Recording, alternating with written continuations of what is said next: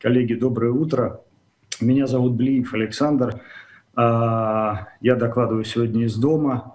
А, а, выступаю как независимый эксперт, поскольку не представляю никакую организацию в данный момент. Тем не менее, у меня за плечами более 15 лет опыта работы в медицинских отделах международных фармацевтических компаний, в том числе руководство медицинскими отделами – тему доклада мою, надеюсь, вы видите, потому что я своих слайдов не вижу, и управления у меня ими нет. Артем, если что-то идет так, не так... Слайды. У нас есть слайды? Все, теперь есть. Саша, да, все в порядке, да, диктуйте. Надеюсь, да, надеюсь, теперь я могу ими управлять, спасибо, надеюсь, э, что вы их тоже видите. Э, хотел бы поделиться своими мыслями о том, э, как мы еще с вами можем, имея замечательную, совершенно колоссальную, фундаментальную инфраструктуру и ресурсную базу для проведения клинических исследований и добиться еще большей пользы от того, что мы с вами создали. А, на данном слайде вы видите, я привел а, некую статистику за последние годы, каких успехов мы с вами добились в, с точки зрения проведения клинических исследований. Ни для кого в этой отрасли не секрет сейчас, что Россия находится на передовых позициях в мире с точки зрения проведения клинических исследований. Это имеется в виду и э, количество набранных пациентов в ММКИ, и скорость их набора, и качество данных. Российские клинические центры успешно не только набирают пациентов, но и проходят аудиты и инспекции регулятора, международных регуляторов, FDA, европейского регулятора, Минздрава России и так далее.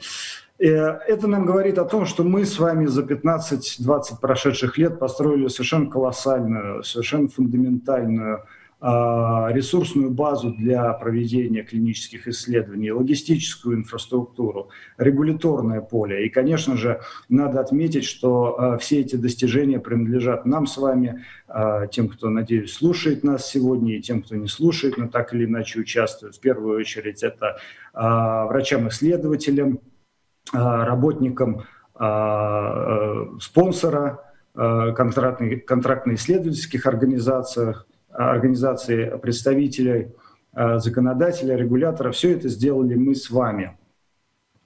Сформировали такую инфраструктуру. Дальше я переключаюсь опять на следующий слайд. Надеюсь, у меня пройдет это удачно. Но так, еще одна попытка.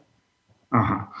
А теперь позвольте а, буквально несколько слов о самом простом, э, это все, все вы прекрасно знаете. А, для какой цели и что такое существует, и для какой цели какой цели служат международные многоцентровые клинические исследования. Вообще, а, честно говоря, мне кажется, что гораздо а, а, полнее суть и смысл этих исследований отражает термин многоцентровые рандомизированные клинические исследования. Но давайте пользоваться устоявшейся аббревиатурой. Так вот, ММКИ служит целью убедить регулятора зарегистрировать препарат на основе доказательств преобладания ожидаемой пользы от возможного серьезного вреда а, здоровью пациентов от применения этого лекарственного препарата. И у регулятора во всем мире, э, во всех странах а, существуют очень высокие требования к качеству этой доказательной базы, а, которая должна исключить любого рода ошибки, случайности и так далее. Чему, в общем-то, и служит методология международных многоцентровых клинических исследований, вернее, такие элементы, как рандомизация и заслепление. И вот мы с вами, вот у меня уже получается отлично переключать слайды, и вот мы с вами э, приходим э, к тому, что цикл клинических исследований завершен, э, препарат подается на, регистр, на регистрацию и успешно регистрируется. И какая же э, судьба дальнейшая ожидает э, тот колоссальный массив данных, который уда- удалось собрать за весь цикл клинических исследований? А, а если отвлечься, а, то здесь нужно обязательно сказать, что а, весь этот цикл клинических исследований международных, многоцентровых, рандомизированных, слепых, двойных слепых, это невероятно ресурсоемкий процесс, занимающие колоссальное количество времени. Вы все знакомы со статистикой, но я приведу те данные, которые мне были доступны. Порядка 500-800 миллионов долларов, по некоторым оценкам, это стоимость одного цикла всех клинических исследований для одного лекарственного препарата, и временные затраты составляют 7, 8 и даже 10 лет иногда. И вот все эти ресурсы брошены на то, чтобы зарегистрировать препарат, а после регистрации а, что же мы видим? Что не все из полученных данных, а они по-прежнему представляют ценность, а, могут ответить на те вопросы, которые волнуют а, всех заинтересованных лиц, а именно врачей-клиницистов, пациентов – организаторов здравоохранения, которые принимают а, решения о вопросах лекарственного а, возмещения. Так вот, данные, собранные в ММКИ, не на все вопросы могут ответить, которые становятся актуальными после регистрации. Какие это вопросы? Вот, исходя из своего опыта, я попытался суммировать эти вопросы. Наверное, список не самый исчерпывающий, но, тем не менее, дает какое-то представление – в правой части слайда вы видите вот те темы, которые волнуют различные а, а, различные категории пользователей данных, а это пациенты, врачи, регуляторы и организаторы здравоохранения. Под организаторами здравоохранения я обобщенно понимаю тех лиц и те организации, которые принимают решения о вопросах лекарственного обеспечения и лекарственного возмещения. В в каждой группе возникают вопросы, на которые клинические исследования а, не могут дать развернутого ответа, но тем не менее эти вопросы а, а, очень актуальны и подчас без ответов на эти вопросы очень сложно принимать какие-либо решения по лекарственному возмещению, по выбору наиболее эффективной терапии, подходящей данным конкретным пациентам. Так вот, а, как же мы можем получить эти данные, если мы не можем получить их в ходе рандомизированных клинических исследований? А, согласно современным представлениям, а, мы можем получить, если не исчерпывающие ответы на все эти вопросы, то, по крайней мере, подобраться как можно ближе с помощью исследований health outcomes. Здесь я вынужден был перейти на английский язык, потому что в английской литературе это устоявшийся термин.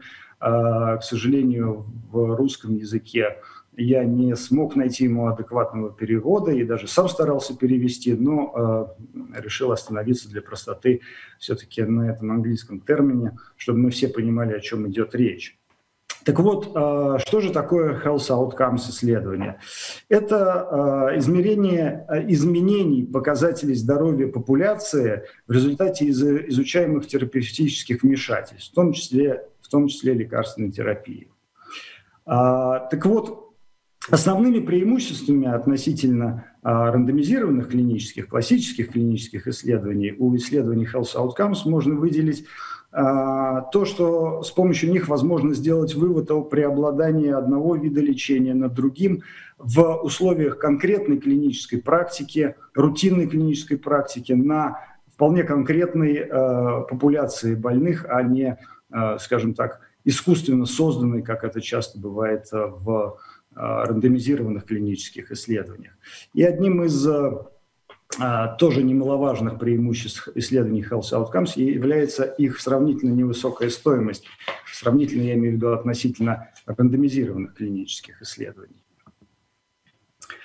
А, почему, а, если исследования Health Outcomes так хороши, мы до сих пор их еще не проводим, и почему я в секции про клинические исследования первой и третьих фаз, решил об, это, об этом высказаться.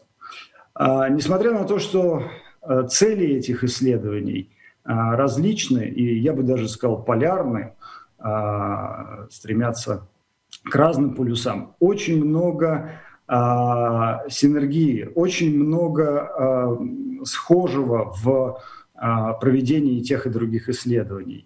Это касается и инфраструктуры, это касается и методологии проведения. Ну, например, разумеется, первым делом мы вспоминаем о ресурсах клинических баз. И те, и другие исследования проводятся в клинических центрах, и ресурсы, которые могут использоваться в ММКИ, естественно, совершенно совершенно пригодны для исследований health outcomes. А, это этические и правовые вопросы проведения исследований, информированные согласия, сама система сбора, хранения, передачи и обработки данных, а, статистическая обработка данных. А, Все это объединяет ММКИ и исследования Health Outcomes, так же, как их объединяет самое главное, именно научный подход, лежащий в основе этих двух исследований. К сожалению, разность целей и задач, стоящих э, в основе этих исследований, не позволяет сконструировать какой-то один э, универсальный тип исследований, который бы ответил на все вопросы, э, важные и для регистрации препарата, и для его после, пострегистрационной жизни. Хотя сейчас предпринимаются попытки совместить ММКИ и Health Outcomes Research – самый наглядный пример, с которым большинство из нас встречалось, это исследование качества жизни, которые, конечно же, важны для пациентов, а, а пациенты, в свою очередь, в нашем а, очень информатизированном сегодня мире принимают, играют все большую роль при принятии терапевтических решений. Но также это очень инновационные вещи типа регистровых рандомизированных клинических исследований, а, когорт, когортных множественных клинических исследований. Я не буду о них подробно останавливаться. Мой коллега Андрей а, осветит а, альтернативный дизайн в последующем докладе. И, может быть, в дискуссии мы можем об этом поговорить поподробнее. Ну, вот что бы я хотел отметить, то что мы добились колоссальных успехов в ММКИ, но, тем не менее, исследования Health Outcomes, несмотря на всю эту похожесть, они пока что на втором плане, а, хотя и вопросы там поднимаются а, важные. Почему так? Опять же, основываясь на собственном опыте, я решил перечислить самые значимые, на мой взгляд, сложности реализации, сложности исполнения и проведения исследований Health Outcomes. Вы видите их на этом слайде. Но дополнительно я, пожалуй, бы отметил Э, самую всеобъемлющую сложность, самую универсальную сложность, а именно инновационность, новизну вот этого подхода health outcomes а, исследований и тем более синтеза а, традиционных клинических исследований, health outcomes исследований. И вот эта инновационность сейчас заключается, то есть проблема инновационности в том, что отсутствуют какие-то единые стандарты, а методологическое единообразие отсутствует. От этого, а, разумеется, становится сложнее трактовать данные, оценивать их с точки зрения а, тех вопросов, которые возникают у пользователей этих данных, а это врачи-клиницисты, организаторы здравоохранения – и это, еще раз подчеркну, это общемировая проблема, не только наша, и даже, может быть, в меньшей степени наша. Ну и, естественно, есть характерные для э, нашего местного ландшафта здравоохранения проблемы. Э, самая яркая из них – это правовое регулирование эпидемиологических, наблюдательных и ретроспективных исследований и всего того, что относится э, к э, так называемому real-world data, то есть э, э, данные э, реальной клинической практики. Здесь я позволю себе э, э, предложить как мы можем преодолеть эти сложности, но э, вот мои предложения вы видите на слайде, но я бы э, хотел отметить, что, и вы это, может быть, даже э, интуитивно понимаете и так, что все эти вышеперечисленные трудности, они настолько э, взаимосвязаны и вытекают друг из друга и взаимозависят, что очень сложно нам сделать первый шаг – в том числе и потому, не только потому, что мы не можем понять, какой же шаг первый, но и главным образом потому, что мы не можем оценить результаты этого первого шага в отрыве от всех этих взаимосвязей. Но если перевести это на язык попроще, то вот э, что же нужно делать в первую очередь? Э, как-то урегулировать правовую неопределенность такого рода исследований или их востребованность с точки зрения лекарственного обеспечения? разумеется, одно должно идти рука об руку с другим, потому что это взаимосвязанные вещи, и одно не имеет смысла без другого. И это говорит нам о том, что все это поле исследований, весь, все эти виды исследований, объединяемым термином health outcomes, должны развиваться гармонично – а, все а, эм, проблемы решаться гармонично а, и тоже с взаимосвязью. И здесь, я думаю, первым шагом на пути к этому, если мы решимся все-таки на этот путь встать, было бы расширение наших познаний в области исследований health outcomes и появление все большего количества экспертов – а, а, изучающих этот вопрос, не просто знающих, но изучающих этот вопрос, изучающих мировой опыт, тенденции, а, продолжающих инновации в этой области. И было бы очень полезно, если бы такие эксперты возникали в, среди всех участников процесса. Я имею в виду и врачей-клиницистов, и представителей фармацевтической индустрии, и представителей организаторов здравоохранения. И вот если бы э, такой уровень знаний мы, мы, мы, мы бы э, подняли на э, существенную высоту, то сам собой, я думаю, завязался бы диалог о том, как нам лучше эти исследования развивать таким образом, чтобы все текущие вопросы, возникающие Э, в связи с клиническим применением и э, лекарственным обеспечением э, разрешать в рамках, в рамках этого диалога. На этом позвольте перейти к выводам. Я их зачитывать не буду, они представлены на этом слайде. Еще раз хотелось бы оговориться и подчеркнуть, что это моя личная точка зрения, она основана на моем опыте, наблюдениях, размышлениях.